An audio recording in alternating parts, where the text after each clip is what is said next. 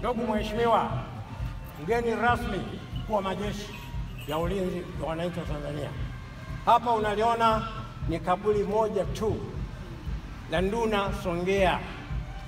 Huyu Nduna Songea aliniongwa siku ya tatu baada ya Wajerumani kumtaka kwamba abakie ili aweze kuwasaidia katika serikali ya Kijerumani.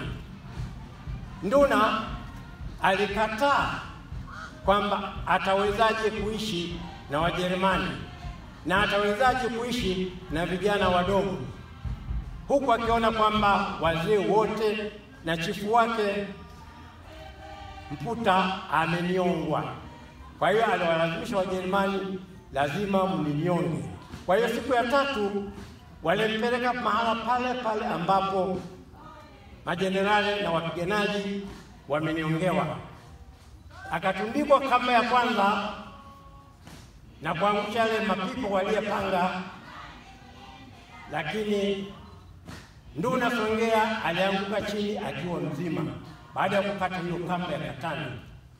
Wajerumani wakamtundika tena kamba ya pili, wakaangusha mapipa, akaanguka chini akiwa mzima. Maadamu yeye alitaka afe pamoja na wenzake na anawang'ang'ania Wajerumani, lazima wamnyonge. Wakamtundika kamba ya tatu, kamba ya tatu naye ikakatika, si kana kwamba zilikuwa zimeoza, kamba zile ni nzima, akaanguka chini. Kwa kuwa azima yake ilikuwa ni kufa, Wajerumani walimmaliza kwa risasi. Wakati huo watoto wa mashujaa na wapiganaji waliobaki na mtoto mwenyewe wa Nduna Songea aliyekuwa anaitwa Nasoro alikuwa anashuhudia kitendo hicho. Kwa hiyo siku ya tatu hiyo wakamleta kumzika hapa.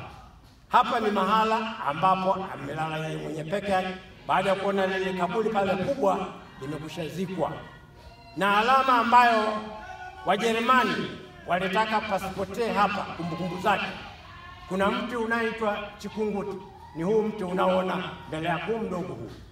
Huu mti huu una miaka mia moja na kumi na tatu na hauzeeki, na mti huu kwa hapa Songea ni mgumu kupita miti mingine yote unayoona ya Tanzania, ikiwa kama miwanga. Sisi hapa Songea tunaamini miwanga ni migumu sana, mipingu, lakini haifui dafu kwa huu mti. Kwa hiyo mti huu una miaka mia moja na kumi na tatu na bado unaendelea kuishi